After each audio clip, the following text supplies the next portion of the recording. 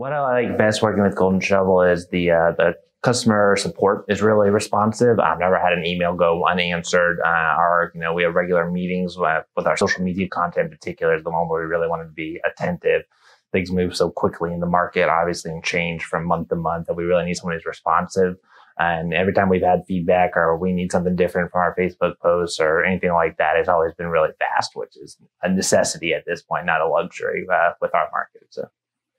So our greatest achievement since working with Golden Shovel, I think we've really upped our game in terms of our outward facing um, appearance to a lot of people. Like I said, we you look at a website and you quickly decide if these people know what they're doing or not. I mean, you decide within five or ten seconds a lot of the time if they are a professional group. We, we, we look professional now. We've always been professional, but we project that now.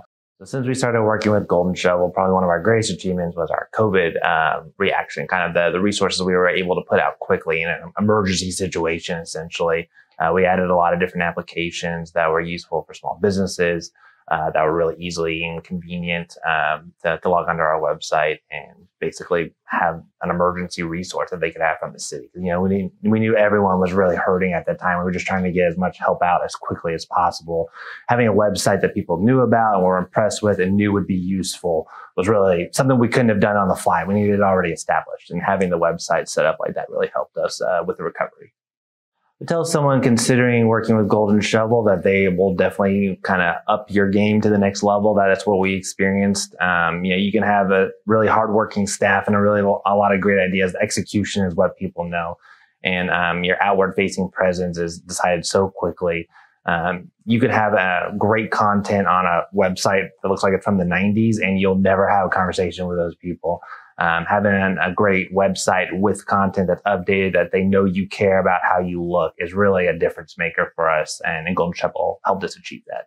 I feel like Grapevine is uniquely placed, uh, really diverse economy. Uh, we offer a lot of things a lot of other people don't.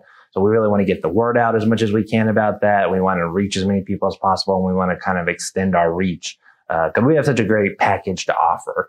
And we can't really do that unless we have the initial conversation. And like I said, website, like you don't get cold calls anymore. You get people who visited your website and there's follow up. So that's really kind of the new um, kind of generation of how you respond to calls. So being properly equipped that way is essential.